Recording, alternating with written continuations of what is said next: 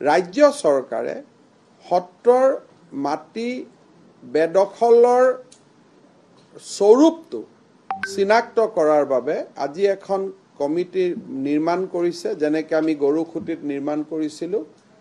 এই কমিটিখনে সত্ৰৰ মাটি বেদখলত আছে নেকি? যদি আছে কিমান বেদখলত আছে? আৰু ৰাজহুৱা শুনানি লৈ কাগজ পত্ৰ পৰীক্ষা কৰি তেওঁলোকে চৰকাৰক ক'ব যে বৰপেটা সত্ৰৰ ত্ৰিছ বিঘা মাটি বেদখলত আছে। বৰদোৱা সত্ৰৰ বিছ বিঘা আছে। গোটেই কাগজ পত্ৰ তেওঁলোকে পৰীক্ষা কৰিব ৰেভিনিউ ডিপাৰ্টমেণ্টে তেওঁলোকক সহায় কৰিব। প্ৰাক্তন মন্ত্ৰী প্ৰদীপ হাজৰিকাৰ নেতৃত্বত এই কমিটিখন গঠন কৰা হৈছে আৰু এই কমিটিৰ আন দুজন সদস্য হ'ল খুমটাই সমষ্টিৰ বিধায়ক মৃণাল শইকীয়া আৰু নগাঁও সমষ্টিৰ বিধায়ক ৰূপক শৰ্মা এই কমিটিখনৰ কাম কাজ এবছৰ হ'ব। আৰু এই এবছৰত এই কমিটিৰ তিনিওজন সদস্যই মৃণাল শইকীয়া ৰূপক শৰ্মাই ৰাজ্যিক মন্ত্ৰীৰ মৰ্যাদা লাভ কৰিব। প্ৰদীপ হাজৰিকা ডাঙৰীয়াই কেবিনেট মন্ত্ৰীৰ মৰ্যাদা লাভ কৰিব। আৰু তেখেতসকলক আমাৰ চৰকাৰৰ এটা খুব ষ্ট্ৰং টীমে ৰেভিনিউ ডিপাৰ্টমেণ্টৰ এটা খুব ষ্ট্ৰং টীমে তেওঁলোকক সহায় কৰিব।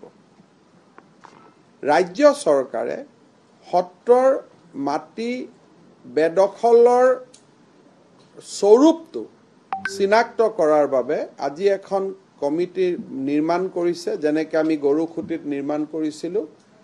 এই কমিটিখনে সত্ৰৰ মাটি বেদখলত আছে নেকি? যদি আছে কিমান বেদখলত আছে?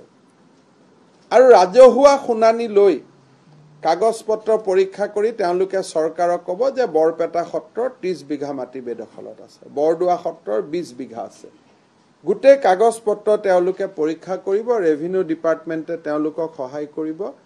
প্ৰাক্তন মন্ত্ৰী প্ৰদীপ হাজৰিকাৰ নেতৃত্বত এই কমিটিখন গঠন কৰা হৈছে আৰু এই কমিটিৰ আন দুজন সদস্য হ'ল খুমটাই সমষ্টিৰ বিধায়ক মৃণাল শইকীয়া আৰু নগাঁও সমষ্টিৰ বিধায়ক ৰূপক শৰ্মা। এই কমিটিখনৰ কাম কাজ এবছৰ হ'ব আৰু এই এবছৰত এই কমিটিৰ তিনিওজন সদস্যই মৃণাল শইকীয়া ৰূপক শৰ্মাই ৰাজ্যিক মন্ত্ৰীৰ মৰ্যাদা লাভ কৰিব।